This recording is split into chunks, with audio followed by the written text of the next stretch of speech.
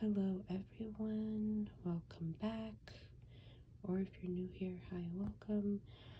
I am, excuse the way I'm talking right now. I just got hit with a sinus issue thing, whatever it's called. I go through these so many times a year, basically eight months out of the year, that my sinus is just active out of nowhere. So for today's video, we are going to be decluttering my hair care, body care products, whatever. So if you'd like to see this video, then keep on watching.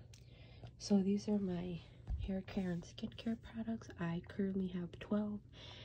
I'd like to go down to about four to five, depending on obviously like what I'm still using, what I like, what I don't like.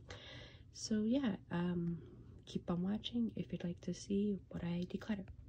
So let's just ignore these loofahs here because they're not in the way, it's just pretty for decoration.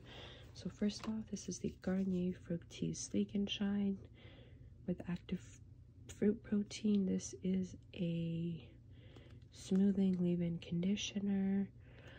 I don't know if I want to keep this just because I haven't been using it as much and I feel like I should. So I'm going to put that in the maybe pile.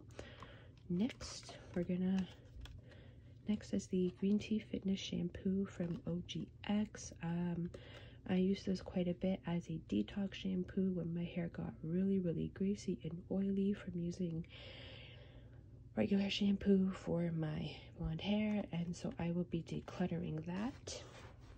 Next, I just bought these at Sephora and honestly, I don't know why I didn't Alright, so next is this Olaplex number 5 Bond Maintenance Conditioner. I honestly don't know why I waited so long to hop on the Olaplex bandwagon, but I love it, love it, love it, so I would definitely be keeping this one.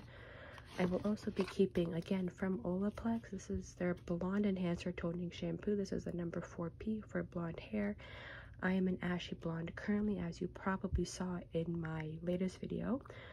And I have tried basically every single purple shampoo on the market and Olaplex is hands down the best purple shampoo I've ever had so I'm definitely keeping.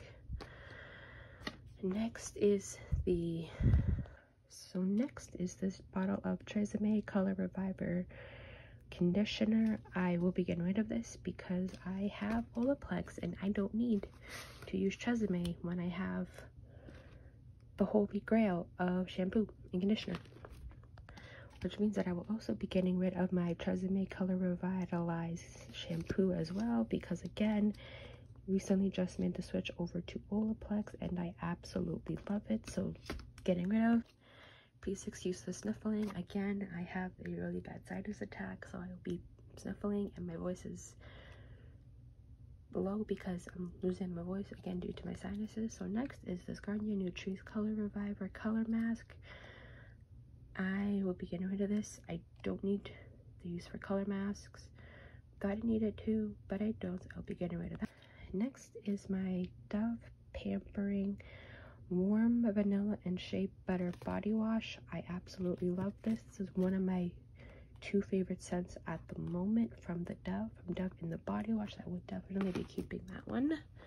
Next one that I will be keeping is this Dove Glowing with Mango Butter and Almond Butter Body Wash. I love this guy so much. I thought they were just continuing it, so I bought three bottles of this. This body wash alone. That is how much I love this body wash. So those are my two. These two right here from Dove. These are my two favorite body washes highly recommend you pick these two up. Will smell absolutely amazing. Next is by John Frieda. This is the Violet Crush for Blondes Purple Shampoo. I use this quite a bit because at the time being, I didn't have a purple shampoo that I liked, but because I bought the Olaplex, I will be decluttering my John Frieda. And I also have the matching conditioner as well. And I will be I don't know, I might keep this, might declutter it. I'm not too sure just because the bottle looks still pretty full to me. So put that in the maybe pile.